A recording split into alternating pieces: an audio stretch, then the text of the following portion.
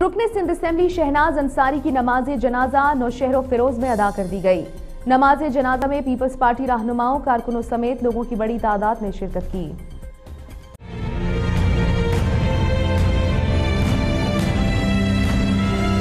رکن سندھ اسمبلی شہناز انصاری کی نماز جنازہ نوشہر و فیروز میں مدرسہ ہائی اسکول کے گراؤنڈ میں ادا کر دی گئی۔ نماز جنازہ میں پیپلز پارٹی کے مقامی رہنماؤں اور کارکنان سمیت ضیاء الحسن لنجار، سابق صوبائی وزیر و رکن صوبائی اسمبلی ممتاز چانڈیو آجز دامرہ، سیکرٹری اطلاعات فیروز جمالی، ضلع صدر پی پی نواب شاہ اکبر جمالی اور ڈی سی نوشہر و فیروز اور شہریوں کی بڑی تعداد نے شرکت کی۔